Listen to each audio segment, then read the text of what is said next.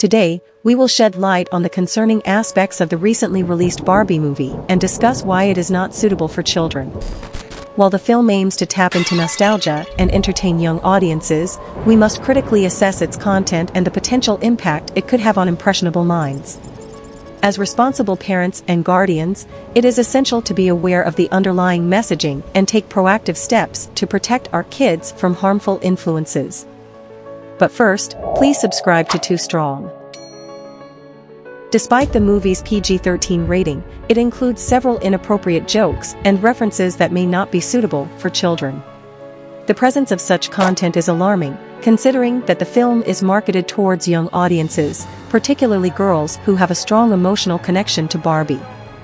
The movie overtly promotes radical feminist ideology, presenting men as toxic and oppressive figures while advocating for radical individualism among women.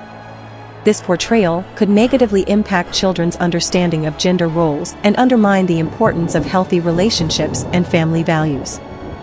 The film indirectly challenges traditional Christian values, focusing on self-empowerment and disregarding the significance of faith, family, and modesty. As parents striving to instill moral values in our children, the movie's messaging may be conflicting and potentially harmful. The creator's intentional insertion of feminist propaganda, even in a movie based on a children's toy, is concerning. The film serves as a vehicle to disseminate a secular worldview, potentially leading children away from the principles and teachings that we hold dear. The admission by the lead actress and director that the movie is a Trojan horse for feminist ideology raises red flags. It indicates a deliberate attempt to indoctrinate young minds with a specific agenda, far beyond mere entertainment. As parents and guardians, we have a responsibility to protect our children from harmful influences in media. It is crucial to be vigilant about the content our children consume and to engage in open conversations with them about the values we cherish as a family the new Barbie movie's content and messaging are concerning, as it promotes radical feminism and challenges traditional Christian values. The presence of inappropriate content also adds to the movie's unsuitability for children.